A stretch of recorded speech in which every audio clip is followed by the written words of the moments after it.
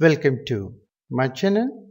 In this video, we are going to talk about the working of the peak detector circuit.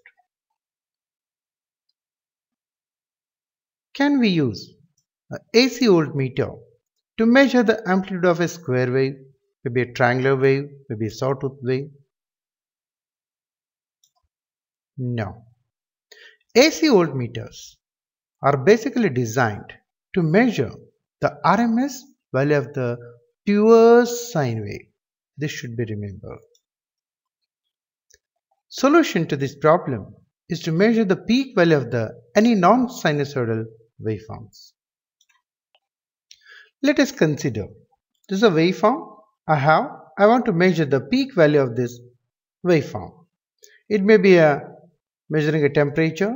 I might have used some sensor or a transducer which converts a temperature into voltage. I want to measure voltage peak or temperature peak. All of us know this working of a diode and if I give the waveform like this, I'll get output waveform no doubt clipped, negative clipped, only it conducts in the positive half cycle, I'll get this waveform. Now, if I give the waveform like this, everything is positive. And I'm going to get a waveform, output waveform, this red color what I have mentioned or shown. Now let us consider how. Now the input is increasing, take this particular portion and output will also increase.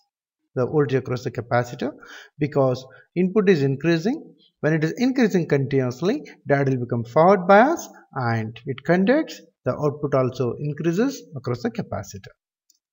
After some time now the input is reducing but capacitor voltage is not this much.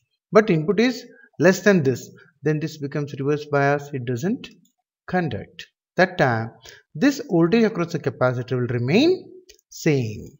So hence we'll get a waveform like this again the input is increasing black color what I shown in the uh, waveform.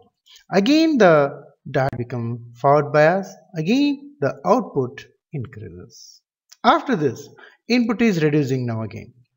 Now diode will become reverse bias. Hence voltage across the capacitor will remain constant. Again still it is reducing. Again it will become constant. So this is a working of this diode and a capacitor circuit so voltage follower circuit we know that output will be equal to input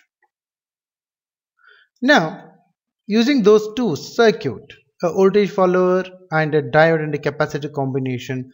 This is a peak detector circuit diagram. During positive half cycle, D1 is on and capacitor charges to the peak voltage of whatever the input you are applying. And D1 is on, circuit acts as a voltage follower. During negative half cycle, D1 is off during negative half cycle D1 is off voltage across the capacitor will remain as it is because D1 is off and RL is very high and this IB is negligible and uh, if RL is not more then you can take a buffer like R is used to protect the op amp against uh, excessive discharge current when supply is off. D2 conducts during a negative half cycle. D2 conducts during the negative half cycle because this is a negative, output is also negative, D2 conducts. Why this D2 is needed? It prevents op-amp from going into the negative saturation. How to detect a negative peak? simply change the diode polarities. This is summary and thanks for watching this. These are the references. If you like the video of peak detector circuit, kindly subscribe this channel and share this. Thank you. Have a good day.